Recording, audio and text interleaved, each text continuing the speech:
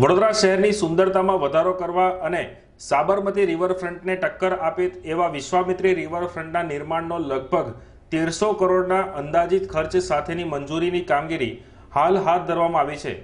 અને વિશ્વામિત્રી રિવરફ્રન્ટનું નિર્માણ કરી પર્યટન સ્થળ તરીકે વિકસાવવા માટે પાલિકાએ તૈયારીઓ શરૂ કરી દીધી છે. બીજી તરફ પાલિકાના આ આયોજન ઉપર વુડા દ્વારા પાણી ફેરવી દેવામાં આવી રહ્યું છે. વિશ્વામિત્રી નદીના શહેરમાં પ્રવેશ સ્થાન એવા વેમાલી ગામમાં મૂળાની ટીપી સ્કીમમાં અમલી થયાના અગિયાર વર્ષ બાદ પણ ડ્રેનેજના નિકાલ માટે કોઈ યોગ્ય સુવિધા નથી. જેના કારણે વેમાલી અને આસપાસની નવી બંધાયેલી સાઇટમાંથી ડ્રેનેજના પાણી વિશ્વામિત્રી નદીમાં છોડવામાં આવે છે. જેના કારણે શુદ્ધ પાણી શહેરમાં પ્રવેશતા જ દૂષિત થઈ જાય છે. મૂળા દ્વારા ટીપી અમલીકરણની સાથે સાથે ડ્રેનેજ, રસ્તા, પાણી અને સ્ટ્રીટ લાઇટ જેવી પ્રાથમિક સુવિધાઓ પૂરી પાડવી પડે છે.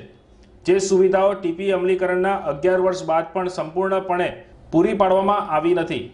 આવા સમયે બિલ્ડરો દ્વારા તૈયાર કરવામાં આવેલી સાઇટનું દૂષિત પાણી બારોબાર પાઇપ લગાવી અને વિશ્વામિત્રી નદીમાં છોડી દેવામાં આવી રહ્યું છે, જેને કારણે નદીનું પાણી દૂષિત થઈ રહ્યું છે.